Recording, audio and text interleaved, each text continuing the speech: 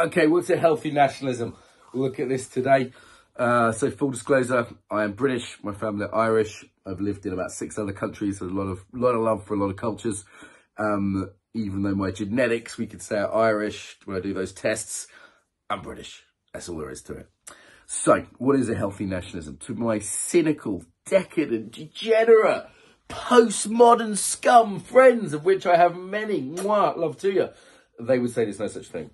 They tend to see any kind of nationalism as uh, xenophobic, jingoistic, negative, particularly in Europe. Americans, but less so. But think about Europe. What happened is nationalism went to the nth degree. First World War, Second World War. That's taking it too far, kids. Um, yeah. So there isn't really a sense of healthy nationalism in Europe, except on, you know, in a very small number of people. So what would be unhealthy nationalism? Let's um, define that. And then we can, in the video, I'll lay out what's a healthy nationalism, why you might want to have that as well. Actually, let me start with the why. It's part of you you are part of a tribe. You may be like me, part of two or three tribes. You may have different parts of that, but a healthy sense of that. Otherwise, you're self-hating. You're self-hating. Yeah. We are tribal creatures. This is not all of us. I'll come back to that. It's part of us. So how would you take that too far? Well, if you were said, look, my group are always the best, and I don't know why, but they are, and we're so good, we should dominate everyone else and maybe kill them off that's taking it too far. Um, actually, that's the norm in human history. If you read human history, even like the Old Testament even, it's, and then we invaded them and killed them and we took all the women and children as slaves. That's not slaves for the women, just because of YouTube. I won't go into that a bit further. Killed everybody else. And, um, you know, that was normal. Didn't even, you didn't even regard other people as human. Um, you'll still see this in some cultures, like, you know, like Orthodox Jews will call non-Jews goy. It's Ferenj in Ethiopia, similar word actually in Thai. Uh, Japanese, of course, will have Gaijin. It's, it's the impl implication is you're not one of us, but you're not really human. You're not fully human, and that was the norm. Even in Greece, they had the ancient city-states, and then the idea of Greece actually came a bit later than most people think. And then they went, okay, we're Greek, but the Persians aren't really human. And gradually we've expanded that sense of who counts as being human, which is a good thing. That is a good thing. Uh, the West, by the way, led the fucking charge with that. The whole human rights thing, that's a Western concept. The idea of the equal before God. This is why the West got rid of slavery first. This is why we're the first culture in human history to get rid of slavery. I, I think of our primary culture as Western and nationalities is underneath that. Okay, so in ancient times, it's called things like Christendom, you know, we can call it that now, but similar idea. There's a transnational culture.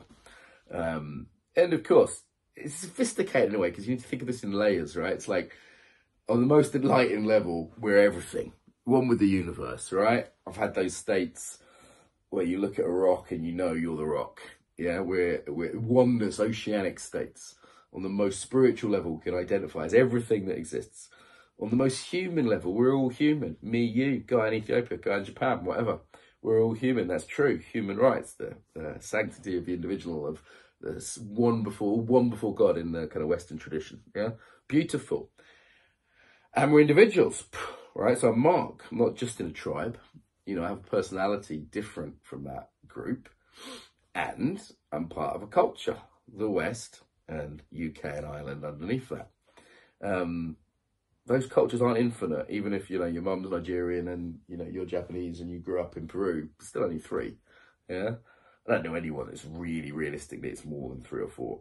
Most of us is one or two, one or two these days. A lot, a lot these days it's a couple because of the moving around people tend to do now. Um, so everything I say about your nation, it could be nations, like a couple. Yeah. This may be a geographical region, but ultimately a nation is a group of people it is a group of people, not a line on the map. That's a mistake people make. It's not just a group of people, though. It's a culture. It's a way of doing things. It's a being at ease with your tribe. Some people object to the word tribe. They say it's just for Native Americans. Bugger off. It's a perfectly good word for the rest of us too. There Scottish and Irish tribes. Um, taking it too far would be then the xenophobia, the saying my group, my country over all others, not really for any good reason, right? Just because I don't know any better, yeah? England. Um, so what's a healthy nationalism is understanding through travel, through study, through meeting interesting people from around the world and perhaps sleeping with some of them, I do recommend that, um, different people, having interactions and going, you know what, we don't in Britain have the best culture around, I don't know, food compared to the Italians. We just don't, okay? However, we've got a really good sense of humour. And you know what, there's a lot of famous British writers, same with the Irish. You know, we, we are the nation that produced Wordsworth, Keats and Shakespeare, Dickens, etc. Uh, we have a lot of creativity in the UK. You know, a lot of great bands, a lot of great comedy comes from the UK. The Americans recognise that. Um, our verbal banter in the UK is very strong, very strong. And it's not to say that these things couldn't exist in other countries. There are other countries with great writers, Japan, for example. Um, but knowing some of the strengths of your culture, you know, and it's on a subtle level, it's the sort of felt sense of your culture and being able to rest into that.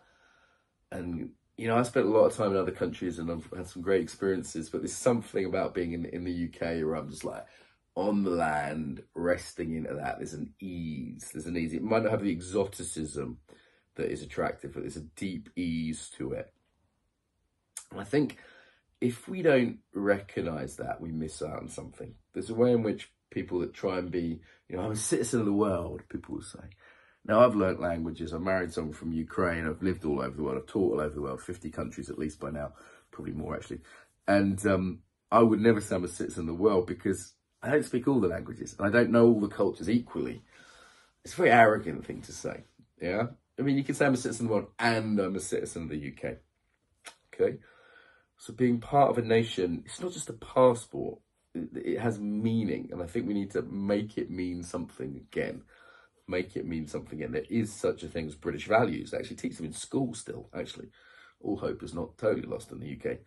Um, all the things talk about on this channel, like the rule of law, for example, that's one that kids are taught in school.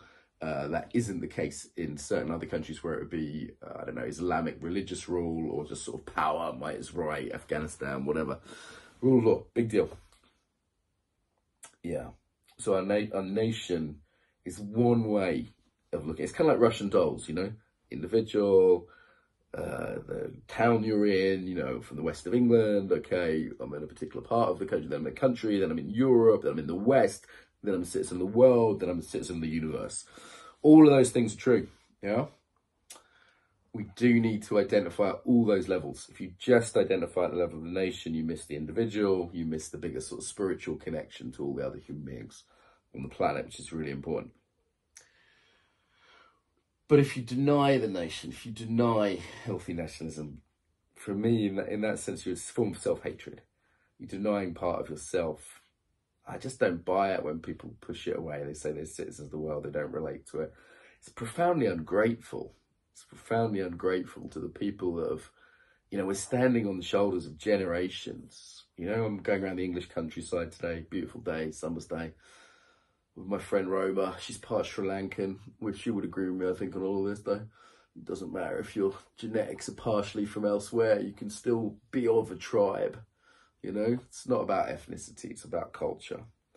It's about what you fully embrace. And we were talking about, like, we talking this topic and saying, you know what, if we move to Japan and we fully embrace that, yeah, we could be part of a Japanese nation.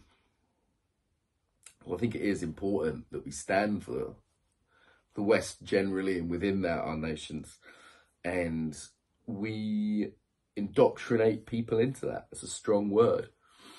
And it's, uh, I think it's the right word, indoctrinate. Um, of course, to learn the language, of course, to learn the culture. I remember there's a group of Italians that shouting in my gym, and I, I don't think they've been in Brighton for long. I used to live in Brighton. I just said, listen, guys, in England, we don't do that. You know, it was nice to them. Wasn't an arsehole. I was like, I love your exuberance. I love your Italianness your loudness, but that's not how we do things around here. Just a little bit more contained. This is England, guys. And they took it well. They took it well because they were visitors. They understood as guests. They needed to understand the local culture. And uh, I think this is important. This is very important. We don't deny, yeah, we don't deny that part of ourselves and we do stand for it. We do say, hey, this is important. This is how things are around here. Of course, not everyone has to abide by every tiny little thing. Drinking high tea with your pinky out or whatever. Things are more complex and more interesting in many ways than that now. But um, I think we should be a stand for our culture, to have a healthy nationalism, to educate people who are visiting, who are coming to live here, that, hey, this is our culture. Welcome. This is how we do things. This is what you've got to learn, guys. Yeah? Not anything goes. See, the thing with cultures is it multicultural sounds like a nice idea, doesn't it? I like different cultures. I like sushi. I like curry. It's all good, isn't it? Well, cultures by definition are sets of values. They're sets of values. What is good, what is bad, what I should do, what I shouldn't do. Let me give you a strong example now. We're past the 10 minute mark for YouTube uh, in Afghanistan, place I have been, um, it's normal to rape boys. It's normal part of the culture, not a big deal. Um, people laugh about it. So it's caused a lot of friction with the British military and local military uh, when the British were stationed there. Because the British military said, this is wrong, this is not okay. And they said, well, it's our culture. And their country, you might say, well, it is their culture. Yeah? Do you want that kind of multiculturalism in London or Paris or New York? I don't. I, I really don't. I don't give a fuck if it's someone's culture. Cultures, by definition, are a set of norms and values. So, by definition, by definition, just by definition of the word culture, if we acknowledge culture as a thing and it exists and it includes values, we're saying our own culture not only is good, but is better. Better. Now, I fully expect someone from another culture to say their culture is better. And a sophisticated person will be able to defend that and say, well, this is better at this, this, and this. This is why the West is great. Yeah. And it doesn't mean we can't admire things from other culture. If I look around my room, there's something from Jewish culture, there's something from Italy, there's a Buddhist thing up there, there's another Jewish thing from a colleague of mine, that's Japanese. Just literally, these are the things I've got in my room. You can't see them, but things I'm pointing at, pictures and statues and things. Lots to admire. You know, I've lived in a lot of the people who are multicultural have actually lived abroad, like I have. I've learned cultures, I've learned languages, lots to admire. But coming back to your own and saying, you know what, this is the one I really value. If I'm being honest, this is really, I just want people to be honest about it. It's like, be honest. You do love your culture. You don't have to be convinced of it. You know, I was actually, I was talking to a British Pakistani guy in a taxi not long ago, a week ago. And he was saying that he loves the green of England. He grew up here his parents weren't from here, but he grew up here. He was saying he loves the green of England, driving through the green fields of the west of England. And you could see that he had that love of England in him. You know, it was very natural for him. No one had to tell him to do that. It's what he grew up with, you know, the green fields of England. And it, you know, it might feel different for someone who hasn't lived here for many, many generations, but I think there's still uh, a lot of possibility there. A lot of possibility. So, too much nationalism looks like racism, xenophobia, xenophobia, jingoism, um, not appreciating the individual or the sense we're all human above that. Not enough nationalism looks like self-hatred, looks like cynicism, looks like not understanding the values that you do, if you're honest, hold dear. We all hold them dear. Take that Afghan example, pretty much anyone in the UK will go, that's disgusting. That's not okay. It's not okay. So, um, yeah, let's be honest about that. Let's celebrate who we are. let me tell you a little story before I wrap this up. So, um, a lot, I've talked like Germany, and the Germans are rightly cautious of nationalism. Um, they've seen the bad places that can go, seen the bad places that can go, but they've they've always taught to have a sense of guilt and shame. Now, for things they haven't done, right? So maybe their grandparents, every German child is taking to museums to sort of see the atrocities of the Nazis. And that's very noble the Germans would do that. It's very smart they would do that. It's very admirable that they would have the courage and the humility to do that. The Japanese haven't done that for their crimes in World War II. So credit to the Germans for doing that. But maybe they took it a bit far. And instead of saying, hey, Nazis are bad, fascism's bad, instead of saying, very anti-Western, by the way, um, instead of saying these things are bad, and maybe our grandparents screwed up majorly and that's not okay. Instead of doing that, they said it's not, it's, the, the message a lot of kids got was it's not okay to be German. And that existed for a long time. And then Germany won a football championship. When was this? About 10, 15 years ago now. It was a European Championship, I think. And I was teaching over there, and all these kids were waving German flags, right? And everyone was super uncomfortable. But because the kids had, sort of hadn't got quite so much indoctrinated, quite so much sort of guilt, they were like, look, we're just proud of Germany and we've reunited Germany. This is after the Berlin Wall fell and German values. They're waving their flags. It was about football and it just was really wholesome and normal and nice. And I was with my friend and she was so uncomfortable. And I was like, you've got to drop that. You've got to let the little kid wave his flag because they won the football. It's not a problem. Yeah? So, yeah, I understand where the caution comes from. You know, I've been to Holocaust museums in Israel. Uh, been to um, Auschwitz in Poland. Been to a lot of places that will make you cry that are pretty, you know, where you see where nationalism can go too far.